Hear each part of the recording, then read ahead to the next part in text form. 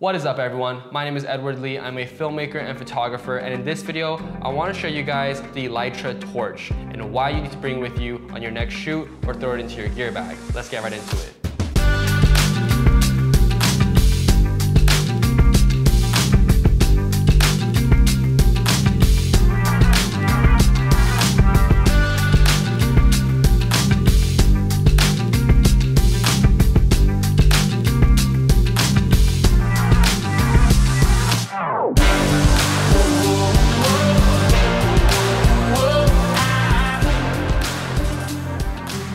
So first things first, let's talk about the light output that this little guy is capable of.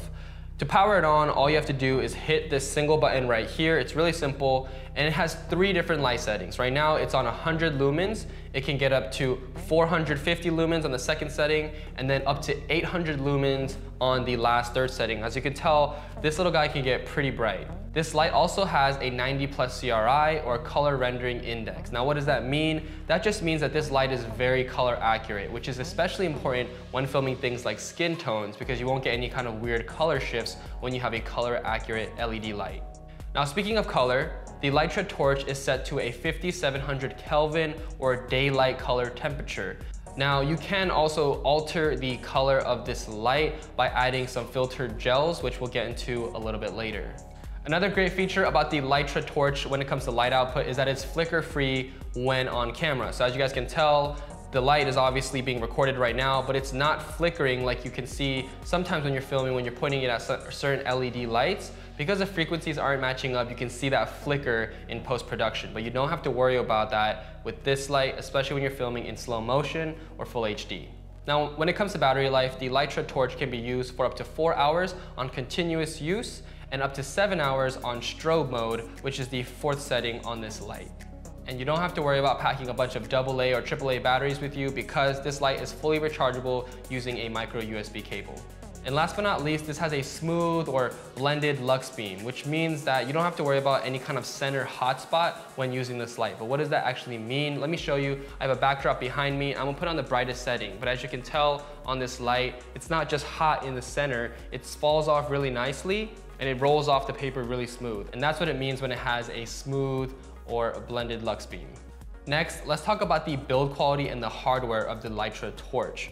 Honestly, just holding in my hand, this light feels very high quality. The way it's built, it's very rugged and it's super portable. As you guys can tell, it's literally fitting in the palm of my hand.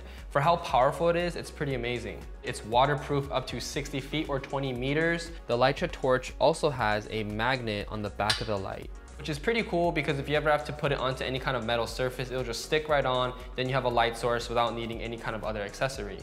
As far as mounts go, it has two quarter 20 mounts, which allows you to mount it on things like light stands, tripods, ball heads, you name it. Just having the two quarter 20 mounts makes it a super versatile light. And speaking of versatility, let's start talking about the accessories that this guy has, which is kind of where the Litra Torch shines. There are a plethora of accessories that you can mount and put on this light, starting with the ones that come right in the box. These include a DSLR camera mount, diffuser, belt clip, GoPro camera mount, smartphone magnet mount, and a USB charging cable. These add a lot of extra versatility and value right out of the box with the light. Now outside of the accessories that come right in the box, Litra also makes a bunch of accessories that are compatible with the Litra torch. You can add colored gels and you can even add some light diffusion. It's pretty awesome to have the colored gels with you in your bag because as you know, it's a fixed 5700K or daylight temperature. So with the colored gels, you can make it tungsten or any other color you need it to be. And it makes, it makes it a really powerful tool when on set or when trying to get your videos. Fun fact when it comes to mounting this light on a drone, Litra actually creates a drone version of the Litra torch. The drone version doesn't have the magnet, so that it doesn't interfere with the GPS when flying the drone. They also recently just came out with different mounting options, so you can mount it even on the new Mavic Pro now with the body mount, or you can still mount it on, let's say like a Phantom 4 or any other drone you have with their generic mount that they have that's made to fit most drones on the market. We've seen a lot of users use the Litra Torch as an action light, as a filmmaking tool, as a vlogging light, And most of these mounting accessories are created by Litra as well, which means you don't have to shop around a ton to see what kind of accessories this light will go well with because Litra has already made all the products available to go with the Litra Torch.